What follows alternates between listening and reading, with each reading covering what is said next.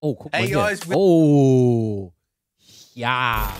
Es gibt eine Setup-Tour von 2023. Das können wir gleich mal, das können wir gleich mal hinterher schieben. das gucken wir uns auch gleich nochmal an, Chat. Okay. Das, das interessiert mich, weil hier sind ja auch äh, sehr große Monitore verbaut. Und das würde mich mal interessieren, wie das aussieht mit riesigen Monitoren. Will here. So it's been a couple of months now since we moved into our new studio space that we shared with you, and we've had a bit of time to settle in and optimize a few things. So I wanted to spend some time today Das ist so schön, dass er von YouTube oder was auch immer er noch extra macht, das machen kann. Das ist so toll. taking you on a bit of an updated tour of the whole setup, basically, and a lot of little technical details that we didn't really Und er hat auch eine Teststation. cover in the previous studio tour. There's a lot of little tips and tricks that we've come across over the last couple of years since we set up this rig initially. We're going to take you through all that stuff today so that you get a better idea of exactly how we do things here at Boosted Media.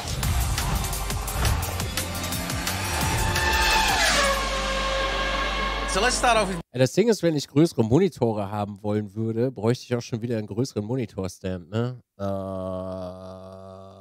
Mann, ey. Das ist jedes Mal so ein Käse.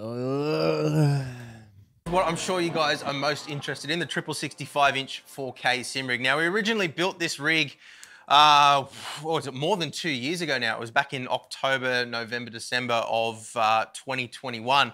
And it's been through a number of revisions since then just to sort of optimize things and get things running as best as they can possibly be with the technology at least that we have available. So you'll remember back when we originally built it, it was running off a system that was basically just a, uh, a rig Das ist, das ist so geil. on a test bench like this.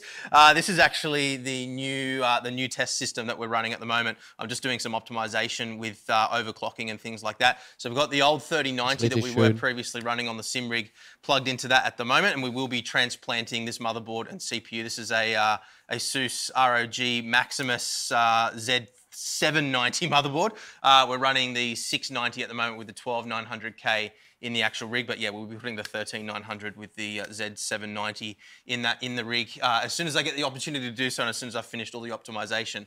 But uh, in terms of the build itself, you guys have seen this before, so we won't spend a whole bunch of time here. This is essentially a uh, workshop trolley from a uh, car shop here in Australia, Super Cheap Auto, and I basically over the course of a number of months built the entire rig into this. So the top layer is what runs the sim rig. We've got the 12900K, as I said, uh, sieht 64 gig RAM in there, and then the 4090. Now I haven't water cooled the 4090 to date simply because the uh, the massive coolers that they put on these GPUs from stock are actually overrated for the actual thermal dissipation that's required. So this only gets up to around sort of 65, 70 degrees uh, most of the time, which isn't, you know, a whole lot hotter than what we would be getting with water cooling anyway. So I have, just haven't really felt the need. Uh, you might notice in there we are still running the original NVIDIA uh, adapter cable that uh, quite a few people had problems with on the internet. I have actually got a replacement cable to swap that out with when we uh, when we put the new motherboard in there as well that I got from Cable Mod. Uh, but yeah, haven't had any problems with that to date. It's all good. So I should explain that the top level here is what's running the sim rig specifically. So if we come around here, we've got the three uh, 65 inch 4K displays. Uh, we've got obviously the wheelbase, the pedals, the steering wheel, the motion platform that we'll take you through all the details on in just a minute. All of that stuff is all being run by the top level. And then the bottom level is what's actually responsible for capturing video and capturing audio. So if we come back around here again, uh, we've got the Go XLR, which is like a little audio routing tool and mixing desk. Das ist halt einfach für mich so, why macht man das jetzt? Aber okay, es erfüllt auch seinen Zweck. That's uh, so that's plugged into the sim PC, so that captures the or takes the audio out of the game, takes the microphone input. You can actually see that going there at the moment. We've got a couple of different inputs there that we can use for various different channels, and that allows us to separate the audio. And then we uh, go up to the fourth screen here, which is actually connected to the second PC. And you can see I've got an old version of OBS running there because I use. Oh, Streamlabs OBS. Also, was? use uh, NDI to actually get. Uh, got an old version of OBS running there because I use uh, NDI to actually get uh, video from the Sim PC across. To Wenn es funktioniert, wenn es funktioniert, gut. to the other PC through the network. We'll talk about networking in just a minute too. Uh, so that is the display for the uh, for the capture PC. And then basically what that does, the reason we do it that way is because it offloads a lot of the uh, a lot of the unnecessary processing onto a different machine. So we're not putting a parasitic load on the sim PC. Obviously we want to have as many frames as we possibly can on that and removing as much processing from that as possible is the best way that we've found to do that. So that is the reason why we've got this crazy sort of dual system going on here. The bottom system is a uh, 8700K, and actually no, it's an 8086K processor uh, so it's a number of years old now. It's a Z390 Asus ROG motherboard, and there's a 2080 Ti running in there. Now, the system is completely overkill for what it's actually being used for. Sei nicht traurig. Er meint das nicht so. Er streamt nicht. Nein, na, er, ja, ich war. Er streamt nicht. Er ja, ja, ja, ja. Entspann dich. Alles gut. Nein, du bist nicht Overkill. Nein. Mm-mm, alles gut. But that was the uh, the hardware that I happened to have available uh, at the time that we built it, so that's what I used in there. But I don't think that's going to need to be upgraded for a very long time. So let's go back around to the sim rig now. I'll run you through the hardware that we're actually running on. This is another question we get asked a lot is, you know, what hardware are we actually running on the SimRig here? So starting off with the massive 65 inch displays here, the first thing you need to understand is that these aren't TVs. A lot of people say, what TVs are you running? Uh, they're actually big format gaming displays. So they're HP Omen Emperium X gaming displays. They're 144 hertz uh, with G-Sync as well. So that's actually quite useful. You can imagine, even with the high-end system that we're running there, running this kind of resolution, we're running 11520 by 2160 pixels, so triple 4K resolution. So you can imagine it's quite hard to Und deswegen benutzt er übrigens NDI wahrscheinlich, weil er das nicht in der Capture Card reinkriegt. run that at 144 frames per second. Ja, da ist das Ding. Deswegen NDI. So G-Sync actually does work very well. Now, another big advantage that we found with these particular screens is that they have display ports too because most modern graphics cards unfortunately these days uh, and we might see in the next generation it might switch back to HDMI 2.1 or something like that but at the moment the graphics cards still have uh, still have display ports on them and usually only one Ich würde nicht sagen, was kann man mit Geld anstellen. Rezone, das hat er, also wirklich jetzt, und das muss man neidlos anerkennen, das hat er sich alles hart erarbeitet. Also wenn man sich das anguckt, was er die letzten Jahre alles getestet hat und wo er herkommt, hat er sich das wirklich hart erarbeitet, was da steht. Also nicht mal, ob das jetzt gekauft ist. Ähm, natürlich ist das bei YouTubern oder Content Creatern oft noch ein Sponsoring dazu. Ne? or maybe two HDMI ports. So being able to run the uh, being able to run DisplayPort cables directly across from the displays to the PC has been really advantageous. Uh, there's a lot of issues with running adaptive sync if you're using adapters. Uh, a lot of people I've seen have run into issues like that. So I have been keeping a close eye on display technology, particularly in the last six months. We've seen a lot of larger gaming displays coming out. Uh, we actually have one I'll show you in a minute that we're going to be testing very soon. Uh, but yeah, I just haven't really found anything that's, um, that I think would be a direct replacement for these yet. So that's the reason we're still running these. Unfortunately, they are discontinued. Uh, they haven't been available for quite some time now, so you can't really buy them anymore. But Ja, das wird sich wahrscheinlich auch kaum jemand kaufen. yeah, at the moment at least, they still appear to be the best thing to suit our very specific needs. And we've talked before about the fact that I would never recommend that anybody build a system like this uh, unless it was for content creation. Obviously, Gut. our needs here are very specific.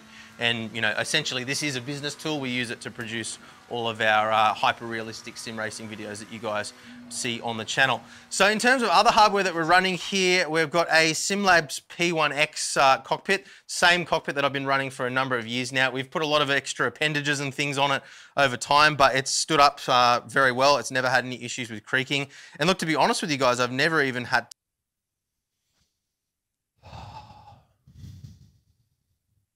to go around it and tighten anything up. It's just really stood the test of time very, very well. Uh, down the bottom there, while Tom's down there with the camera too, you'll see the D-Box G3 system. Now you might be wondering why we're still running the G3 when we have the G5. We reviewed that a number of months ago now. Uh, look, this just suits our needs a little bit better than the G5 does. The um, the, the feedback that you get through it is exactly the same between the two systems, but this has just got a slightly smaller footprint. Uh, it does have the two big control boxes, but they integrate quite nicely underneath this little plate that's sitting on the uh, sitting on the base there. So yeah, we just didn't really see the need to change over from the G uh, from the G3 to the G5. While we're down there as well, you can see the uh, same old wind simulation system that we were running before. We have a DIY video that I put together a number of years ago on that. Uh, not a huge amount of airflow that comes out of it, but it's enough to sort of give you the sensation of air movement. And uh, we talked in that video about you know what the advantages of that are. One question that we get a lot is why would you want to have wind simulation if you're driving a closed cabin car? And it's more just sort of about tricking your brain. It gives you it gives your brain the sensation of movement, um, even though it doesn't necessarily feel all that realistic. For example, so um, yeah, it actually works really well. And I was really that's one of my favorite things on the rig. Uh, we're still running the Asetek Invicta pedals. Been really happy with them. Ich würde meine Invictas auch nur tauschen gegen Simucube-Pedale. Haven't really felt the need to change them. They suit my driving style extremely well. Uh, we have reviewed a number of really Boah, Alter, die haben aber auch echt ein paar Runden runter. nice pedals recently, particularly the VRS pedals. I was really impressed with them. Uh, Heusinkveld Ultimate Plus pedals have been really good too. We ran them for a while on the rig, but yeah, just been really happy with the Asetek Invictus. So we're still running those. Uh, at the moment, we've got the uh, the Grid by SimLab uh, Porsche 911 RSR wheel installed on here, but that's something that we swap out depending on what we're driving. If you have a look over here, we've got another one of these workshop trolleys that's got, say, uh, not all of the rims that we have here, but uh, the ones that I use most frequently on the rig. So we've got some, I've been using the GSI and the CSX. Also nur, jetzt mal wirklich ohne Shit, nur die Quick Releases dazu, nur diese sind unfassbar teuer. nur der Quick Release hinten dran ist schon. Ui. X3 quite a bit recently. When I'm doing uh, when I'm doing GT3 stuff, I often use the Cube Controls F Pro. But uh, yeah, it just depends on what I'm driving. I don't really Das ist so schön. Also mich erfüllt das, mich alleine erfüllt das mit Freude, dass er das in der Garage stehen haben kann. Mich erfüllt das wirklich mit absoluter Freude, das zu sehen, dass jemand sagen kann, cool, ich gehe jetzt an mein Trolley und ich hole mir eins von zwölf Lenkrädern raus. Finde ich so schön. Das erfüllt mich innerlich mit absoluter Freude. have a favorite wheel at the moment. It's purely just down to what's suiting uh, what I'm driving the best. So back over to the rig again. We're still running the Luso Motors uh, bucket seat that we had uh, custom made a number of years ago now uh, with our boosted media logo on the back here. It's not the most comfortable looking thing in the world, but I actually find it very, very comfortable. Uh, Witzigerweise, das gibt's bei Next Level Racing, glaube ich. Die haben auch so einen Bucket Seat. Der sieht unglaublich kacke aus. Wirklich jetzt? Der sieht richtig kacke aus und denkst dir so, äh, what the fuck, da setze ich mich doch nicht rein. Und wir haben das Ding das erste Mal gehabt auf der Sim Racing Expo. Absolut geiles Teil. So unglaublich bequem, das kannst du dir gar nicht vorstellen. Auch auf Dauer, du sitzt da drinnen wie, als wenn das Ding einfach für deinen scheiß Arsch gemacht ist. Total geil, der Apparat. Würde ich mittlerweile ehrlich gesagt auch fühlen und mein Momo dafür austauschen. Fühle ich absolut den Apparat. As I mentioned in a recent video, I've actually put on quite a bit of weight since we originally bought this. Uh, I'm doing my best to lose it again at the moment, but it has it has been very very comfortable even with my increased body weight. So uh, yeah, no complaints about the seat whatsoever, and it is very light as well, which does make a bit of a difference when it comes to motion and things like that. Obviously, the less weight that you have in the rig, the more responsive it's going to be overall, and the less load you're putting on those actuators. So that's been really good too. Fährt er immer noch seine Simucube? Ja.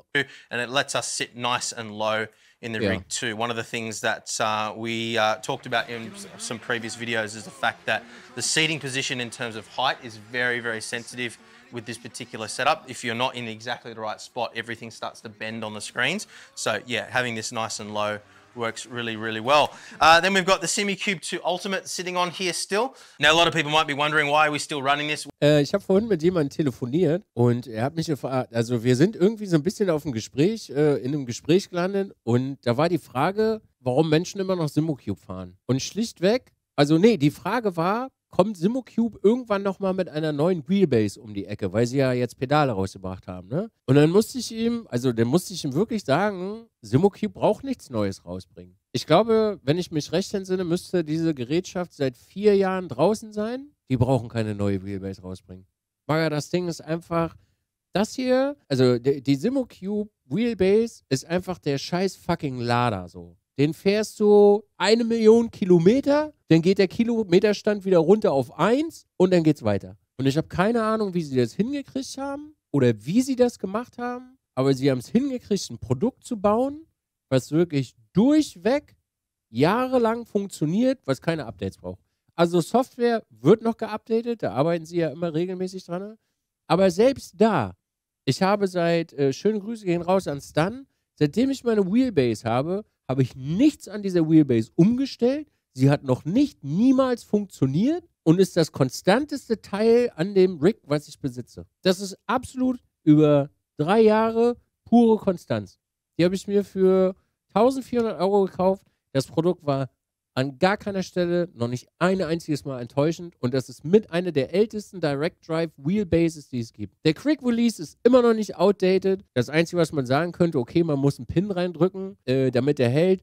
Ist ein bisschen scheiße, okay, kann ich nachvollziehen. Das könnte man eventuell neuer machen. Ansonsten ist an dem Ding nichts zu mäkeln. Gar nichts. Ist für mich persönlich immer noch der absolute Platzhirsch, was in diesem Preissegment vorhanden ist. Und jetzt kommt das kleine bis mittelschwere Aber. Asitec hat sehr, sehr, sehr, sehr, sehr, sehr gute Wheelbases. Sie haben nur leider den Quick Release noch nicht dafür. Und da ist nachher die Frage, ob der Quick Release an dieser Stelle das so simpel macht, wie beispielsweise eine Sumo-Cube das hinkriegt. Weil du kannst für eine Sumo-Cube kaufst dir so einen Adapter, schraubst den an ein Lenkrad, hängst den da rein, drückst den Pin rein, fertig ist. Das ist die Frage. Weil wäre das, äh, wäre das hier möglich, dass man das einhängen könnte und es hätte Kontakt und würde so funktionieren, das wäre noch so ein Punkt, wo es besser wäre. Aber da ist halt wieder die Frage, wie das nachher mit der Konnektivität der Lenkräder aussieht. Weil mich persönlich jetzt stören diese Kabel nicht. Es gibt super viele Menschen, die stört das. Ne? Mich stört das nicht, weil es hier, bei mir hängt mein Kabel hier an der Seite dran und äh, macht jetzt für mich keinen Unterschied, ob das da bammelt oder nicht. Ne? Das wäre noch eine Weiterentwicklung, die man machen könnte. Aber ey, warum solltest du das ändern so? Warum sollen die jetzt was Neues rausbringen? Ehrlich, warum sollten die eine neue Wheelbase machen oder rausbringen? Said that the Acertec Invicta wheelbase Finde ich auch, Timmy.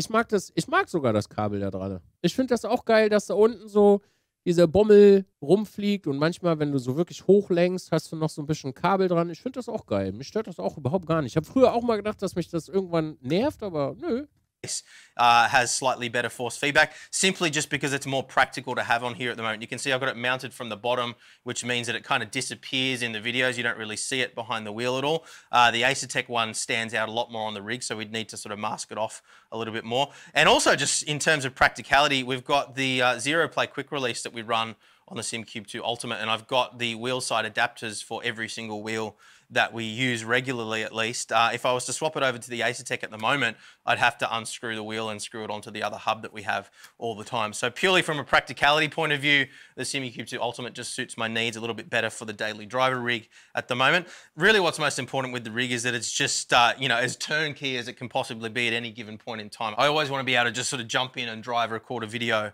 at the drop of a hat and it always needs to be functional. So we sort of, we don't play around with the configuration of this rig too much.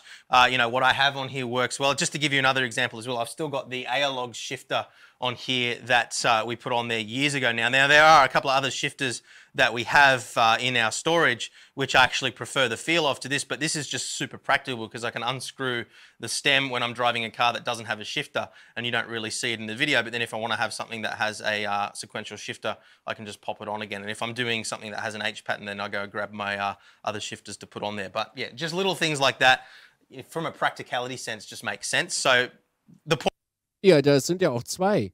Die sind da angeklebt. Hier zwischen siehst du den Strich. Das sind zwei Bezel-Kits und die sind übereinander und dann an den Monitor geklebt. point is that you know what we're running on the daily driver rig isn't necessarily the stuff that I like the most. It's just the stuff that is the most practical for the purpose of what we're trying to achieve here. So then we also have the Asus bezel free kits on here, which you guys have seen a couple of times previously. So it's two per side. You can see what I do is just sort of flip it around, and then I've got a piece of string with a little piece of plastic in the middle there that we pulled through from the back to just kind of fix it in place. There's a lot of different ways you can do that. We experimented with uh, double-sided tape on the edges, but it just kind of created a bit of a smudge there. So that system seems to work the best. And another shout out to Karl Gosling for that idea. He did that on his 55-inch uh, displays, and uh, I thought it was a really good idea. And uh, yeah, we've been running it that way for a little bit over a year now, and it's worked really, really well. But that is how we sort of blend the bezels together. Now, I have experimented with a couple of other systems as well. Uh, some people take the lenses out of old display panels and use those, but I just find that the Asus panels seem to just work a little bit better than any of those other solutions do at the moment. And then behind the rig to isolate things uh, both acoustically and visually, we have these acoustic panels, which we showed you in the last video, so we won't go into a bunch of detail on those again. But those seem to be standing up really well, and they actually do deaden the room quite a bit acoustically as well. We didn't want to have a completely dead sound in here. We wanted to sort of have that garage vibe. But between this and the other acoustic panels, it's actually working really well.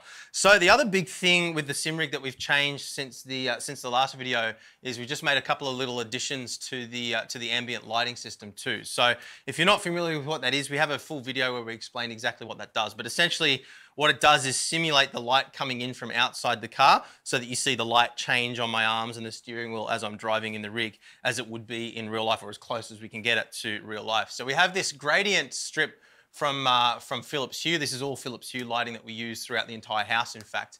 But so, so that's a gradient strip that kind of adapts depending on what's on the screen.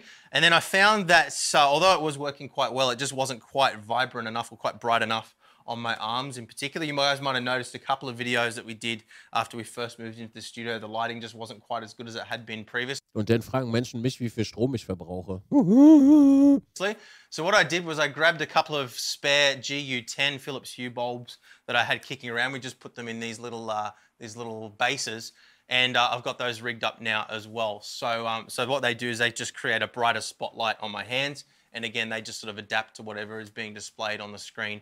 And uh, it all just connects in wirelessly through the network, which I'll show you in just a minute. So while we're on the subject of lighting, something that is really important in a studio space like this one is to have complete control over the lighting. So it doesn't matter what time of the day you're filming. Uh, you know, we can be filming something at midnight and it looks exactly the same as it does at midday. So the way we've achieved that is with Philips Hue lighting pretty much, well, I've got it throughout the entire house, but down in the studio space, we've got uh, four of these long five meter strips similar to the gradient strip, but they don't have individual segments that are individually addressable. So the entire strip just changes. So we've got four of them, two on the car side, two on the studio side. Alter, das alleine. Das alleine, Chat. Richtig günstig. Then I've got a bunch of scenes that I have set up through the hue system. So I can change it to blue. I can change it to red and white, red all over, daytime all over, and whatever else you want. So we can obviously, we can go into the app and change all this depending on what we want. I can dim it or brighten it from here or just switch it off and on as well. Now this is all Google controlled as well, so I can talk to Google and tell it what I want it to do. If I'm leaving the house as well, it'll automatically detect that I've left and switch everything off. So it's a really, really powerful system. Now I have experimented with quite a few different lighting systems and I did pay full retail for this system as well. So this isn't any sort of a sponsored ad or anything like that. But one of the things I really like about the, the Hue systems in particular is that the software integration is really nice. So uh, the software is really clean and easy to use, but they also have these bridge systems. If you come through here just quickly, you can see the little Hue bridge that's sitting next to the router there. So what that does is it allows all the lights to actually connect to that hub and then it only requires one network connection back to the main network. So what that means is that you're not loading up your network with, you know, I've got, I think 45 separate Hue lights in the house in total, not including the ones above the rig because they're on a separate bridge. Uh, and you can imagine if you have all of those devices all connected to your wireless network, it can start to slow things down if you don't have a powerful router. So keeping everything separate like that just seems to make a little bit more sense for me. Now, while we're on the subject of network, I wanted to talk about that a little bit because that's something that I've been working on a lot recently in the studio. So you can see here, we've got the uh, AX6000 ASUS ROG router. This is actually in, uh, in AI mesh mode at the moment. So we did a review of this on the channel recently. Now being out in rural Australia, we do have a lot of problems with slow internet. So come over to the table now and I wanna show you how I've got things set up with this network. I've been putting a lot of uh, time into this. Du weißt, wie viel Stuff kommt, wenn du die Ecke siehst, Alter. Ey, Alfred Biokek, ich grüße dich. Du weißt, wie viel Stuff einfach da kommt zum Review.